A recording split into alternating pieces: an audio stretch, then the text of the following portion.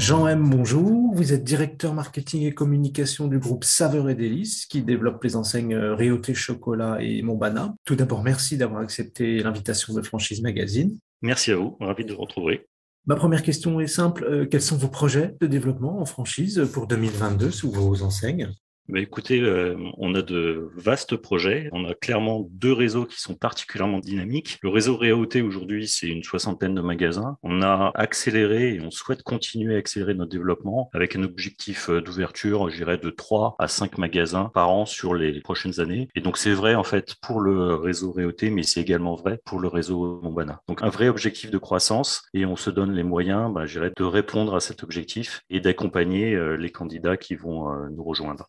Quelles sont les villes ciblées pour étendre votre réseau, ou les types de villes, les tailles d'agglomération?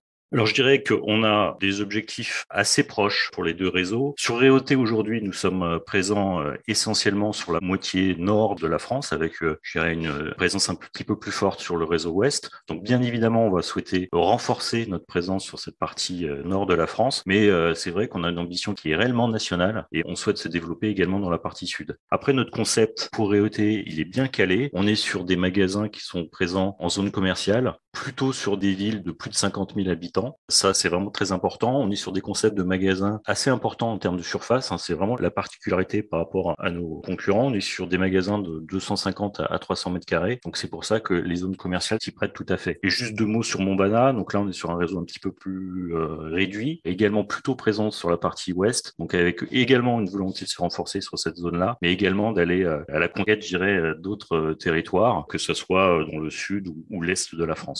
Pouvez-vous nous en dire plus sur l'évolution du concept magasin de l'enseigne Réauté? Tout à fait. Donc là, on est sur une euh, quatrième génération de magasins, puisqu'on a la chance d'avoir une histoire assez longue de plusieurs dizaines d'années. Ce concept, on l'a mis en place en fin d'année dernière sur euh, la région parisienne, dans le magasin de Saint-Marc, ce qui nous a permis de voir qu'il était euh, tout à fait performant. Donc on est en train de procéder à quelques petits ajustements, et c'est vraiment ce concept qu'on va déployer. Donc ça intègre quoi, ce nouveau concept? C'est une évolution, bon, j'aurai l'ensemble des, des paramètres classiques sur le mobilier, clairement, sur tout ce qui est éléments de décoration, de luminaire sur effectivement bah, des moyens euh, complémentaires euh, et nouveaux de type euh, vidéo, projection de messages en magasin. Donc là, on a juste ça, tout en étant vigilant, et ça c'est ma casquette marketing qui m'amène à le dire, est-ce qu'il soit vraiment cohérent avec notre positionnement de marque? Donc Créauté, c'est une marque qu'on veut vraiment accessible, c'est très important. On est aussi sur des magasins qui ont un assortiment extrêmement large, donc on a à peu près 600 références, hein, ce qui est quand même assez considérable et assez spécifique dans l'univers du chocolat. On a besoin d'avoir du mobilier, on va avoir des magasins qui permettent d'exposer cette offre très très large. Et quand je dis qu'on est sur un concept chocolat, oui, c'est notre cœur du business, mais on a également des développements sur des segments, je dirais, complémentaires. Ça peut être du biscuit, ça peut être de la confiserie. On a également euh, développé de manière assez significative notre offre en macarons et dans certains magasins, on peut aller au-delà avec de la glace, par exemple, sur l'été. Donc un concept euh, sur lequel on est bien calé, bon écho euh, du franchisé qui l'a installé et également des enquêtes consommateurs qui nous ont permis de vérifier qu'on était cohérent avec l'image de la marque. Et donc, on est euh, très, très optimiste, sur le développement de ce concept.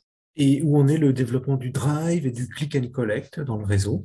Alors, on l'a développé de manière relativement modeste. Ça reste un axe stratégique, mais je dirais qu'il n'est pas prioritaire. Notre concept de magasin, encore une fois, c'est une offre extrêmement large et avec de la dégustation. Alors, on pourra en parler, ça n'a pas toujours été très facile dans le contexte sanitaire qu'on a connu. Mais cette offre large, on souhaite que les gens viennent la découvrir en magasin. 600 références à présenter honnêtement sur un site internet, ça reste compliqué. On pense que certains euh, consommateurs pourraient passer, j'irai à côté de segments euh, assez euh, importants, en tout cas de produits qui pourraient être utiles ou répondre à leurs besoins. Donc vraiment, notre objectif, c'est créer du trafic pour amener les gens dans nos boutiques, qu'elles soient réautées, encore une fois, ou Montbana. Donc on a du click and collect, on va développer, mais c'est pas un axe stratégique vraiment de premier plan.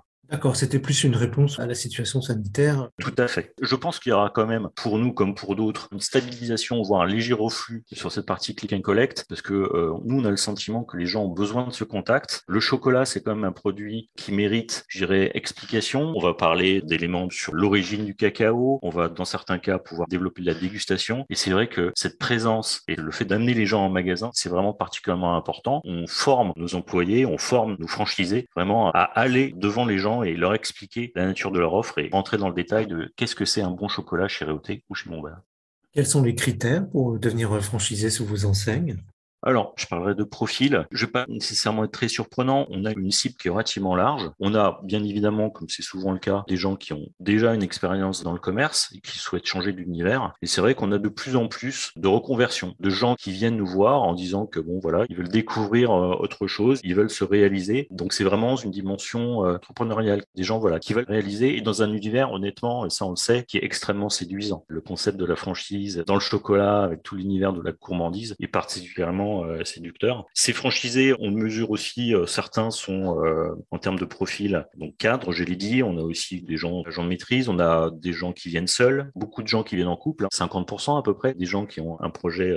voilà, donc un profil assez large, pas de critères, je dirais vraiment extrêmement établis. Bien sûr, il y a quand même un, investissement qui est nécessaire, mais c'est pas pour nous l'enjeu principal. Après, comme tout réseau de franchise, on a un problème d'accompagnement extrêmement développé qui va accompagner nos candidats les personnes euh, intéressées du début de leur projet, hein, qui peut être, euh, je dirais, assez euh, light, on va dire, pas très précis au départ, jusqu'à l'aboutissement et à quelque part à la remise des clés. Et un process qui dure, mais assez classique, entre six mois à un an, en fonction de la maturité du projet au départ. Et quel budget faut-il prévoir pour ouvrir un magasin sous vos enseignes? Alors, on a des enveloppes qui sont proches pour Réauté Montbana. Pour Réauté, on est de l'ordre de 350 000 euros hors euh, pas de porte. Alors ça intègre la partie importante d'aménagement du magasin, des choses assez classiques, le droit d'entrée, des stocks euh, d'ouverture et euh, un budget de communication pour l'ouverture. Quelle formation vous proposez à vos nouveaux franchisés? Comment se déroule?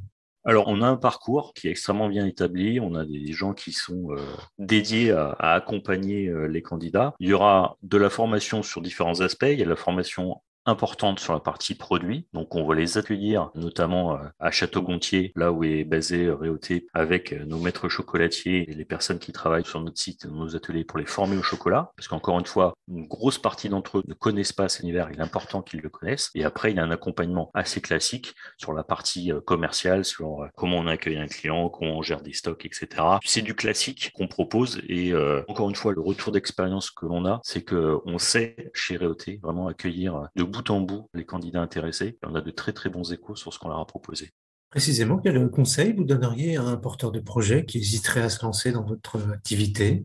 On a, comme je vous le disais, des gens qui ont envie de franchir le pas de l'entrepreneuriat, on va dire, mais qui sont un petit peu dans le doute, qui ont peur. C'est pas un conseil, c'est vraiment euh, un message que je leur dis. À partir du moment où vous êtes lancé dans la démarche, que vous avez cette idée en tête, c'est quelque part cette fibre commerciale, vous l'avez au départ. Donc soyez rassurés, nous, nous sommes là pour la matérialiser. On va vous accompagner évidemment sur la recherche des lieux les plus adaptés, hein, tout en restant dans ce concept de magasin, de périphérie et de zone commerciale. On va vous donner tous les outils pour matérialiser votre rêve. Donc laissez-nous vous accompagner, faites-nous confiance et on sera là à votre côté pour aller au bout de votre rêve, je dirais. Jean M, je vous remercie. Je rappelle que vous êtes directeur marketing et communication du groupe Saveur et Délices qui développe les enseignes Réauté Chocolat et Montbana et que votre actualité est à retrouver notamment sur les sites Franchise Magazine et AC Franchise. Merci à vous.